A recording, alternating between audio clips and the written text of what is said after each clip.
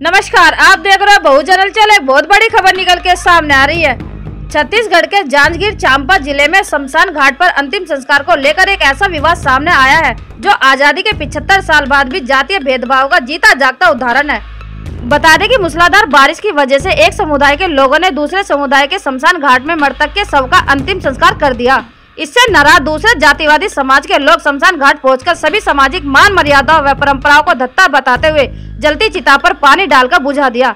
इसके बाद गुस्साए लोगों ने जेजेपुर मार्ग पर सब रखकर जाम लगा दिया। परिणाम यह निकला कि गाँव के सरपंच सहित नौ लोगों को पुलिस ने गिरफ़्तार कर लिया। इस बीच 20 घंटे से ज़्यादा समय तक भारत द्वारा जेजेपुर मार्ग जाम लगा रहा। बता दें कि द्वारा बस्ती निवासी 24 वर्षीय प्रदीप पाटिल, पुत्र भैया लाल पाटिल ने फांसी लगाकर खुदकुशी कर ली थी। पोस्टमार्टम के बाद परिजन उसके शव के अंतिम संस्कार के लिए शमशान घाट पहुँचे, लेकिन मूसलाधार बारिश के कारण वहाँ दिक्कत आ रही थी। इस पर गाँव में ही तालाब के पास स्थित दूसरे समाज के एक अन्य शमशान घाट शव ले गए। वहाँ पर शव के अंतिम संस्कार की प्रक्रिया शुरू की गई और चिता को आग दे दी गई। इस बात की जानकारी मिलते ही दूसरे जातिवादी समाज के लोग वहाँ एकत्र हो गए और हंगामा करने लगे।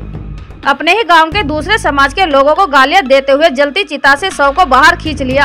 आरोप है कि दूसरे जातिवादी समाज के लोगों ने चिता में पानी डाल दिया और शव को लात से मारकर अपमानित किया। इस पर अंतिम संस्कार के लिए पहुँचे लोग आक्रोशित हो गए।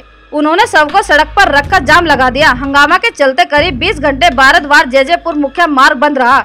जलती चिता को बुझाने से नाराज़ लोगों ने भारतवार जेजेपुर मार्ग को जब खोला, जब घटना के सभी आरोपियों को पुलिस ने गिरफ़्तार कर लिया।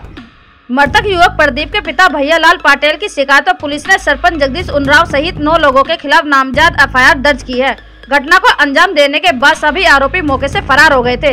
लगातार बढ़ रहे हंगामे और तनाव की स्थिति को देखते हुए पुलिस ने टीम बनाकर सभी आरोपियों को गिरफ़्तार कर लिया। इसके बाद प्रदर्शनकारी माने और जाम खत्म कर घर लौटे। इसके बाद पुलिस और प्रशासन की निगरानी में युवक के शव का अंतिम संस्कार कराया गया। ब्यूरो रिपोर्ट, बहुजन हलचल।